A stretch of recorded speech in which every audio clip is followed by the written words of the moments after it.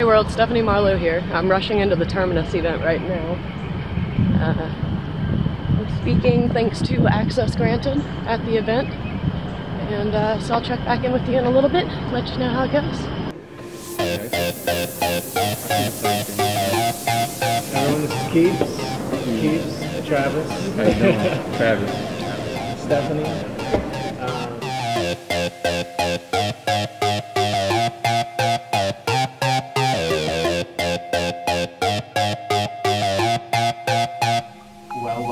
everybody to uh, the Marketing Trends, Social Media and ROI for AR, VR, and 360 Video, um, hosted by Access Granted. Um, and welcome to the last day, the final hours of the Terminus Conference. Uh, as Corey said earlier in a previous uh, panel, it's bittersweet. so, uh, yeah. Um, we were here on a Sunday. Last night was a big turn up for some of y'all. Saw you guys drinking up those, using those free drink tickets. so thanks for dragging yourselves in here on Sunday. No, we really appreciate it. This is going to be a really awesome talk and panel. Um, obviously, if you're in here, you're interested or maybe involved in the space of uh, AR, VR, 360 video, content creation. But um, my name is Adam Davis McGee. I, uh, I'm a founding partner with Access Granted, um, who uh, we're a small, humble agency, startup here in Atlanta.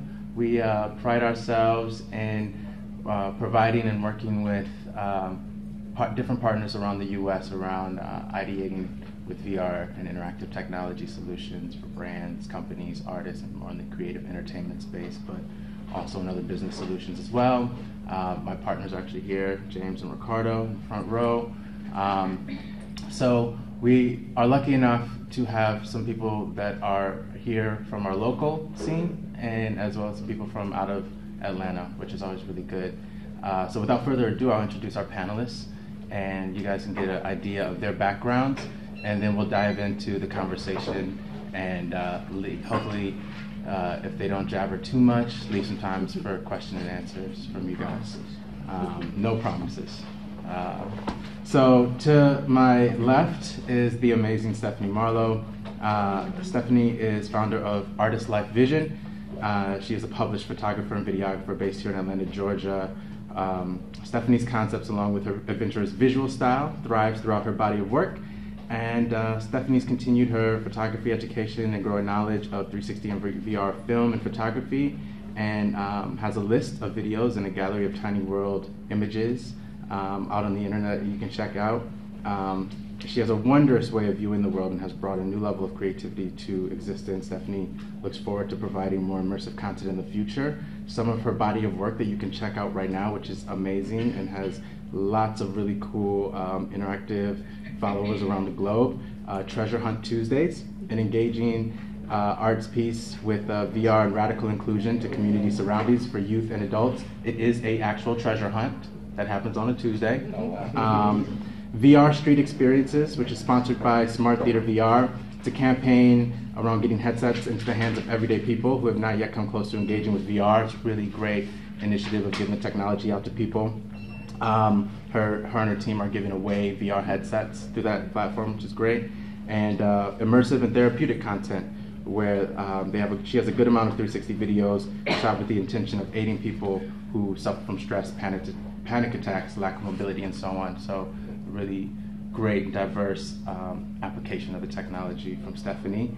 Uh, next, we have Lee Keebler, who is the president of Nashville based virtual reality house Black Box Simulations. Lee has spent years working in both the music and creative tech fields, most notably working alongside will.i.am of the Black Eyed Peas, creating tech installations all, all around the world. His first venture into interactive tech was reverse engineering the Xbox Kinect, which allowed him to DJ uh, in the air using gestures. Today, Black Box Simulations focus on creating one-of-a-kind VR experiences for large brands and companies, hoping to connect with their customers in a new way. We welcome Lee to Atlanta, which is great.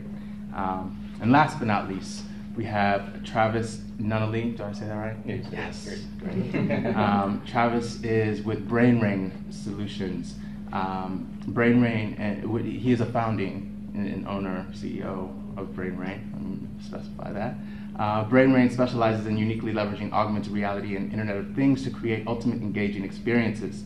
From interactive, interactive vision centers to stadiums, Brain Rain helps increase growth in companies by increasing brand awareness and creating a more loyal following for your business. Some of the highlights from BrainRain, um, they are retail, beacon, and augmented reality clients. Uh, some of the past their clients have included Lexus, Toyota, UpTV, PBS, AT&T, Laff Network, Harman, Kardon, and uh, you could talk a little. He'll talk a little bit more about some of those uh, solutions and installations they've done with those clients. Um, really cool, a four and a half average rating in the App Store. It's one of the highest in the industry. I love that note because it's very important to rep your overall uh, rating in the App Stores as a company. And um, they have a cumulative, uh, cumulative total for increased evaluation at 50 million and counting. So BrainRain is doing some great work, and that is also uh, Travis is here, local in Atlanta. So please welcome our panelists. Big round of applause. Um, Access Granted, our team, we wanted to carry this this conversation to be, uh, you know, really open. Uh, I've got some guiding, guiding questions for the different subject matter. Um, you know, we wanted to go a little deeper with uh, the, as far as um, the, as conversations go with 360 and interactive tech. You know, a lot of times uh, we, we see panel panels just having the, hey, this is cool tech and this is amazing, this is what the future is going to be like, but uh, we don't often get a chance to go deeper into solutions. So that's what we wanted to offer you all today um, to kind of have these uh, panelists with their diverse experiences and their work that they're doing give uh, some speak to specific case studies and experiences that they're working on. So without further ado, we're going to just dive right into the money. Um, well, money is one type of ROI, right? But uh, the first question that we want to kind of throw out there is uh, kind of like that golden egg is uh, the heavy price of, of, of this um, technology and this low adoption rate. A lot of companies will and decision makers are always saying, how do I um, mitigate the financial risk? in investing in AR solutions. So, do, do any of you want to kind of dump, jump in and take that question of how do you convince these decision makers to take those financial risks in this company? In this, yeah, I go, first. Um, so I, am the CEO, so all I do is sell technology. so my job is to make sure that they reduce risk while maximizing um, their ROI. For AR, uh, what we typically look at is start off with a problem. Um, so once we identify what we call a cash suck, right? Is this uh, business process. We typically work in the commercial space, meaning that we either train uh, employees, we engage users differently, and it just depends on the problem. So for us, the first thing is identify what the need is. Um, for some people, is they want to make more revenue. For other people, like uh, let's say let's Toyota, for example, is I want to engage my members differently and get a more loyal following because they have a deep loyalty base with their brand. Um, so once we identify what that problem is, then we come up with solutions that uh, return that we estimate a return on investment. Uh, for us, it's just a matter of looking at what the problem is and going through um, from a deep learning standpoint how we can supply some solutions. So if you look at augmented reality, there's a lot of different applications of what it can do. Uh, you can go from a gamification standpoint, and use a, a Pokemon Ghost, um, you know, a, a, application. But you also can use it more on a, you know, um, a content distribution platform. So once you identify what that is, uh, then we track the metrics through the technology. Uh, what we typically do is we'll, you know, once we come up with, like I said, there's many different ways to do augmented reality. Once we find out that flow of uh, from, you know, problem to some solution where it could be conversion, sales, then we track through the process of what the ROI is, and then we just track the metrics from a technology standpoint. So, like for example, if you use an art gallery approach where you hover over and you know the art comes to life, or you know uh, if you're using something that augments a real reality scene, like you know glitter falls from the sky, using as example, uh, we'll track how many points you know the user actually hit. So, for example, We'll check how many, you know, the, the length of the video. We'll check how many engagements happen, and from there, check how much the, the return investment was from the customer. You guys have any? Sure. I mean, I can speak to it a little bit for the uh, virtual reality um, side of things. Um, we focus on doing VR for corporations, companies, uh, industries, um, some education. Uh, education is becoming a, a, larger factor as uh, actually the, the, the youth are kind of driving that forward um, because they're they're looking for it at that point. Um, but anyways, that's not here nor there. Uh, from a how do you mitigate the risk? You don't. Um, sometimes the risk is the pitch. Um, and that's that's okay. That's not necessarily a bad thing. Uh, we've got one client who is their end goal is to be seen and change the dialogue. Uh, they manufacture things. Uh, their end goal is to change the dialogue that they are a forward-thinking company, that they are utilizing new technologies, and that they are going to bring them the future of this particular type of manufacturing. Um, and so they started down the VR realm to start that dialogue. In that particular sense, the risk was actually the message uh, that this is a company that is willing to take risks. And uh, they're to, and, and, it was very calculated, and uh, it was a risk that was worth taking. Um, it doesn't mean that uh, right before they signed off on the final product that they were a little nervous. Uh, then they saw it and they felt very comfortable um, because we were talking, we were doing this about a year ago. Um, and so no one was really bringing this to the manufacturing scenario at, at this point. The other side of it is uh, we've also got clients who are very calculating and they don't are very risk adverse and they don't want to take those risks. Um, and we've learned that with them. We were just kind of like, well, that's kind of part of the game. It is part of it. This is new technology. This is we cannot tell you uh, how. I start almost every time I talk about this by saying one simple thing, and and very still holds very true, and that is no one can tell you what to do, and that's the bad news and the good news. You know, uh, the good news is no one can tell you how to do this, and the bad news is no one can tell you how to do this. So you're kind of on your own, uh, and we're slowly building up what makes for good experiences in this realm.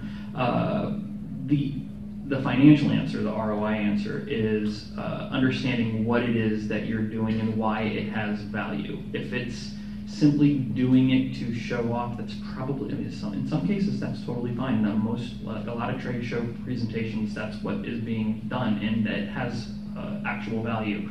Uh, but when you start talking about building tools for VR, uh, what needle is that moving? How, if their investment is X, what is going to be the return? Um, and so in manufacturing, that's huge because it allows us to uh, demo things in VR without having to manufacture it first oh, I want to build this big, heavy, clunky, expensive thing, but I'm not sure if it's going to be good for a person who's five foot five, or if they have to be six foot tall, or what if they're five foot flat. Like it's weird, but those are the questions that we have on a daily basis.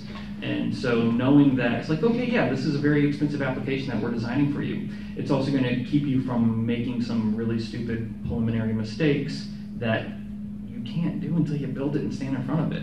Um, so if you're answering those questions, your value becomes extremely strong on the ROI uh, argument.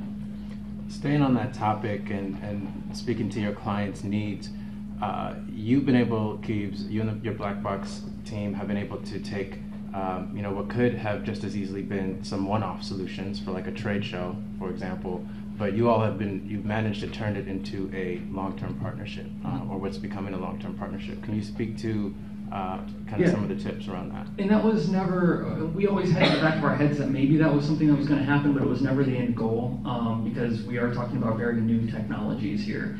Uh, the best advice that I can give anyone going into AR, VR, or 360 video is listen to the client. The market's going to tell you exactly what works and what doesn't work. Um, and so we built a trade show for uh, a kitchen manufacturing company. Uh, they build stainless steel kitchens for a lot of big fast food restaurant chains. Um, it wasn't until I started working with this company that I walk in a fast food restaurant, like, wow, there's a lot of stainless steel in here.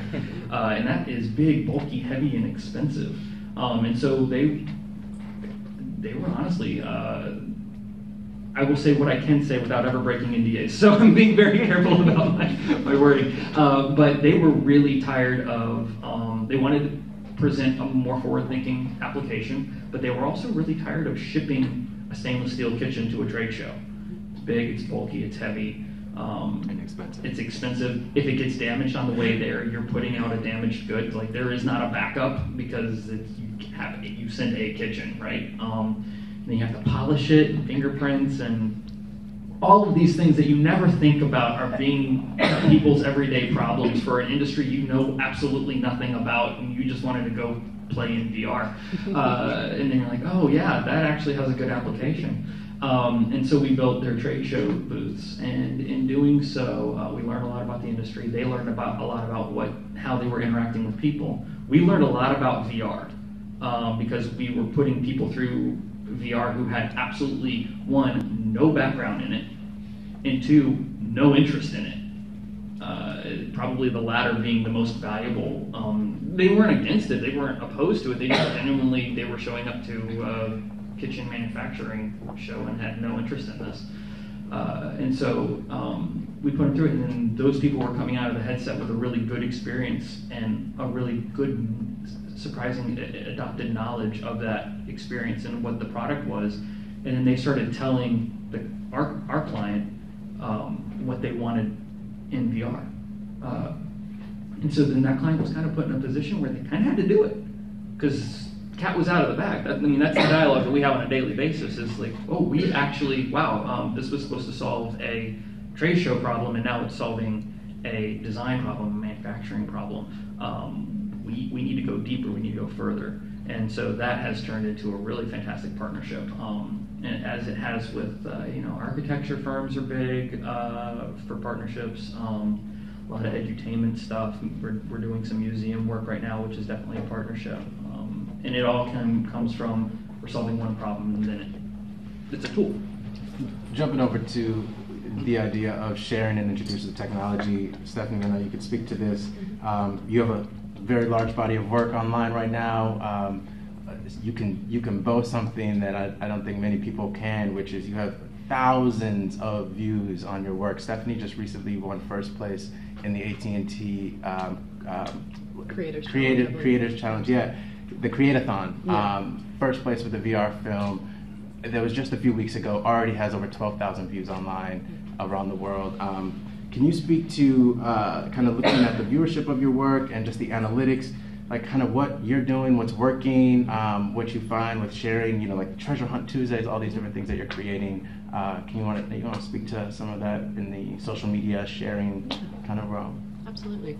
So, my my biggest, uh, I guess, base for broadcasting has been using the Veer VR app.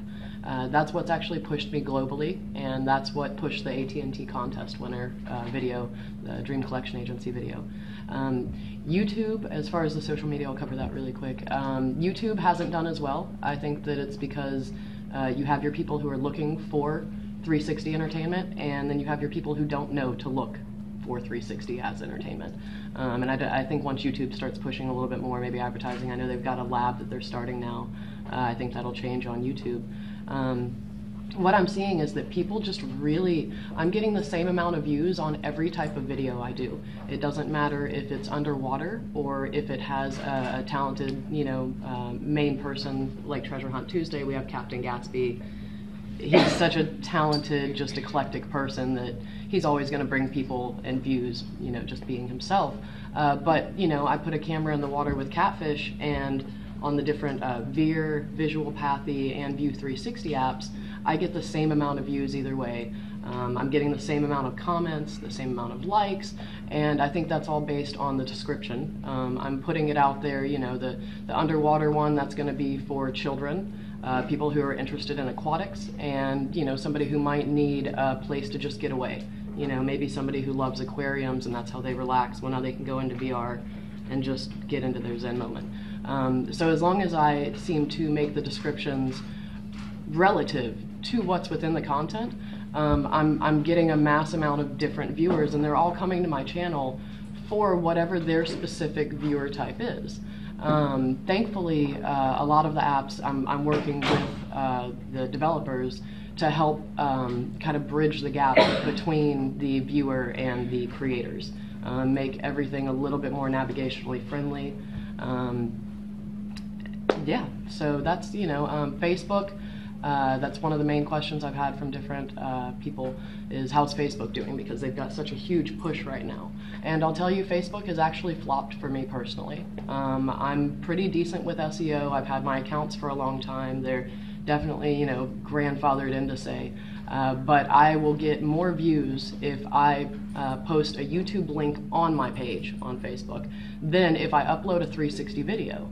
And it doesn't matter. I've tried, you know, hashtagging, not hashtagging, describing, not describing, just putting the video up. You know, I've tried doing these these different things strictly from my page, and I, am I'm, I'm really shocked at the amount of or the little amount of uh, feedback I've gotten so uh, for me, um, I'm sticking within the VR community currently because I know that's what's going to actually uh, bring me some money back to be able to continue being a content creator. And one of those communities that she mentioned initially is Veer, which I, some people may not be uh, familiar with. I wasn't familiar with it mm-hmm. until you introduced me to it, but that's V E E R. Mm-hmm. Um, it's a great community right now that's building Wonderful around the world. Um, kind of still sticking to this, uh, you know, obviously a lot of people just heard about Apple's announcement with the AR kit.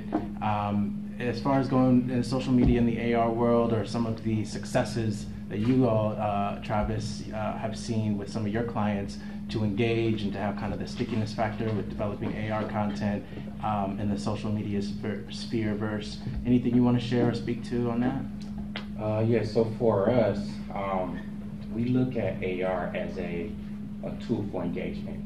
Um, so we, we look we approach any marketing in two ways, right?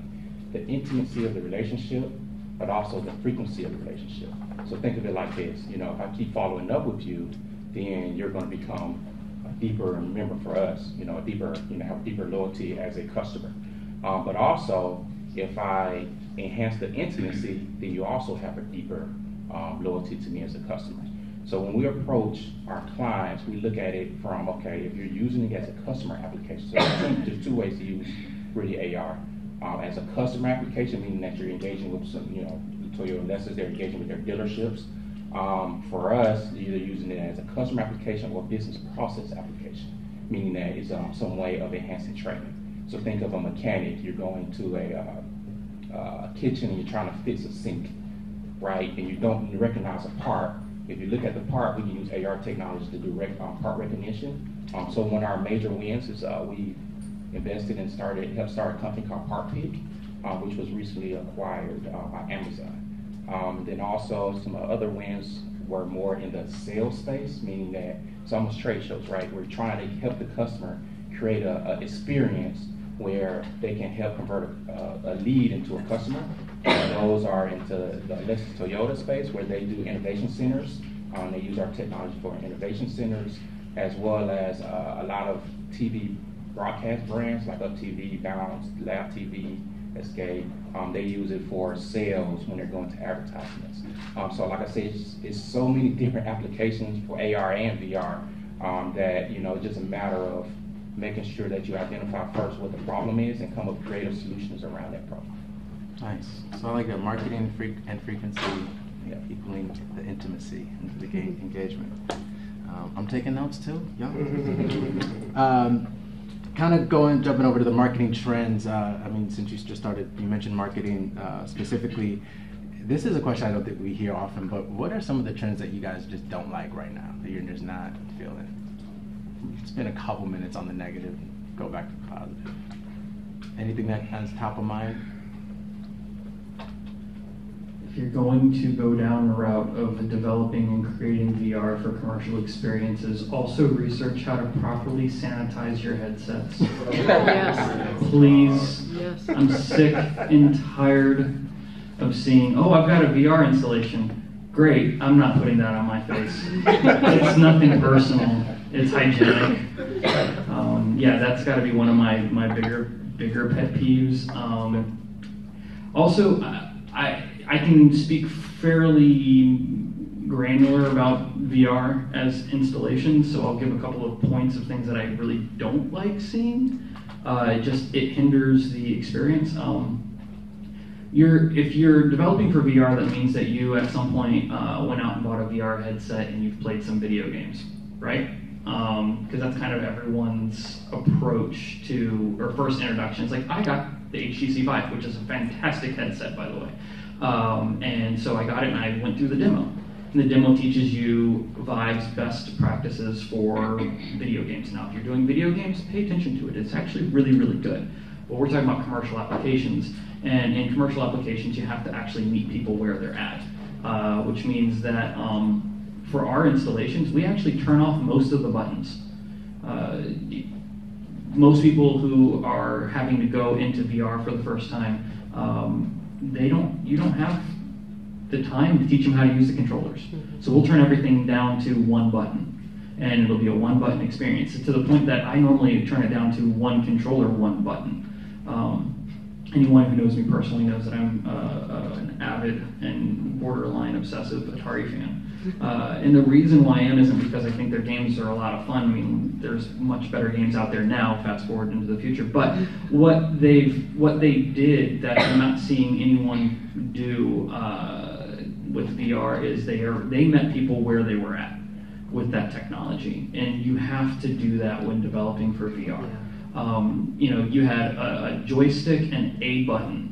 Two buttons would have been too confusing for people who never had an arcade in their home that's something to really wrap your head around. I mean, it seems comical for us that it's like, oh, two buttons is too much because I mean, I grew up with the NES and we had two buttons. Uh, but no, you actually had a joystick and a button because they were mimicking what was known in the arcade machines, right? So we're doing the exact same in VR.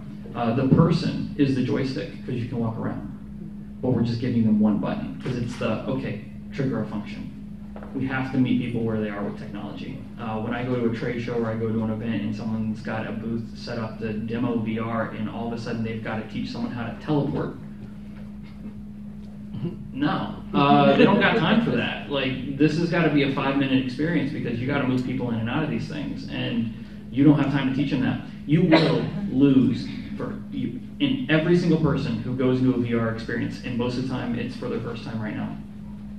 You'll lose 30 to 45 seconds in wow factor. You will lose 30 seconds with this.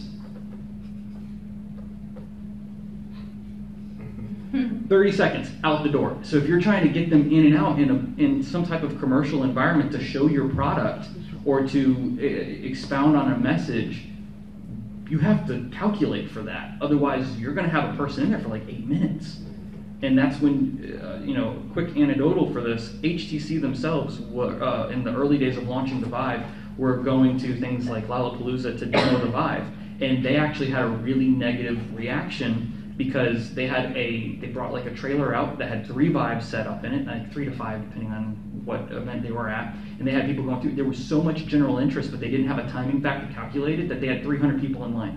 Hmm. You know what happens to the, the number 300 guy? yeah, they, well, they get angry. They get angry. Because the line ain't moving. And because you're, you're, you know, you got your guy in there demoing the latest video game and he's not getting out. That's a problem. Those are the things that irritate me. Right. Anything else? Or trends that we don't like? I mean, we can move on. Uh, just a piggyback, um, with AR, it's, it's the exact same thing. Um, you want to make the experience as simple to use as possible. Like literally, like either point, click, show, click a button. Like we actually, uh, we, we split test different buttons to start our AR experience. Uh, we found out the bigger the button, the more uh, positive reaction we had. So we literally use this gigantic button and say start, um, and then you you know you go into our AR experience. Um, so you know we found out that we split tested a lot of different user experience techniques. Um, the ones that work is just the ones that just keep it as simple as possible. The KISS method, method, right? Keep it simple. I don't want to say stupid, but you know, super uh, silly. yeah, right. Um, so for us, it's a matter of okay, you know, the one the trends that, that don't work is if you keep it too uh, complex, and then it tends to die off, right? Um, Pokemon Go, for example, uh, it was a great great trend, right? Millions went past Twitter in a matter of weeks, um, but they're starting to die off because you know they're not first. They don't have stickiness. People are not going back to application. Um, they're not effectively using some technologies that's basic for um, for uh, app creation, like for example push notifications. Right? Uh, you want people to come back. You want to say, hey, Pokemon's around the corner. Go go get your Pokemon. You know. Um, so things like that that they could have used a little bit better. Um, but it's really, you know, I, I tried the game, but it, it became so complex of figuring out what these orbs mean and all this, you know, that I kind of dropped off. Um, so if they would have kept it, uh, you know, a really simple user experience, then I think I think they would have had a lot better uh, reaction to their technology. Go ahead. Um, one thing that I've noticed in giving the experiences and handing out the headsets, and I'm handing out a base level headset. It's plastic, there's no remote control, no technology, just put your phone in, very simple. And what I'm finding, what I'm finding to be a problem is, is people. Um, I will approach people, hey, have you ever experienced VR or a 360 video? And people will literally tell me yes, very confidently. And then I'll, I'll, say, okay, great. So have you watched it on YouTube or, you know, where, where have you seen this? And all of a sudden they'll be like, oh, well, maybe I haven't quite seen it. So my problem that I found with people is they don't like to be out of the know. Um, so instead of asking people, hey, have you experienced it? I now approach them with, have you ever heard of Art- Artist Life Visions? 360 video content or have you found us anywhere you know or I'll I'll take a little bit different approach because I think the just the simple term VR scares the shit out of people. Mm-hmm. Like really, because they don't want to they don't want to appear stupid. Um, especially when it comes to some basic entertainment that we've all been hearing about since we were children. You know, um, so that that's just one thing I can definitely speak on is you know maybe maybe try and think about the words that you use uh, when you're approaching people um, because they, they seem to get very uh, defensive when, when they don't know right off the rip and it's it's bad for all of us because we can't teach them what they need to know to experience and then uh, spawn more for the industry for all of us. You know, so.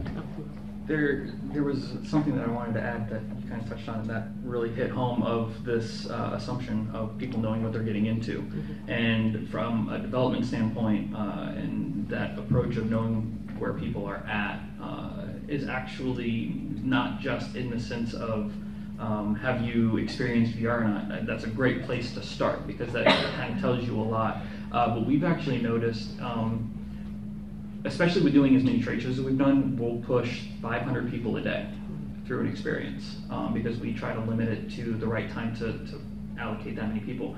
When you push 500 people a day through an experience and you're doing this over and over again, and this is a full business for you, you get a really good data set about how people react and respond in VR. So we have very strict rules of how we develop. Um, and they're not rules because um, this is how I said to do it. It's like, no, these are rules because this is how they said to do it, um, even if they didn't realize that was the problem. And we've actually even noticed that there's um, somewhat of a generational gap of how people respond in VR. And one is not right and one is not wrong. Um, it's just simply a different approach to how the technology is perceived.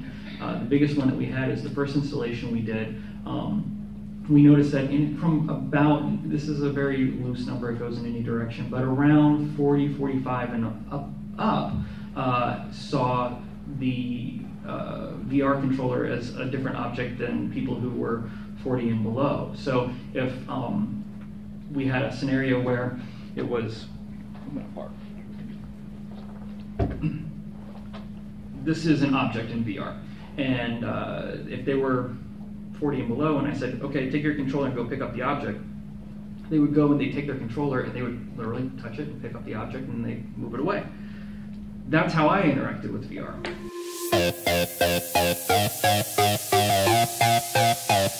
I was able to record the majority of it. Unfortunately, it did cut off in the middle. So hopefully you got some of the good information from the panel. It's really, really wonderful that Access Granted had us out on their panel. I really enjoyed the other speakers that were on the panel.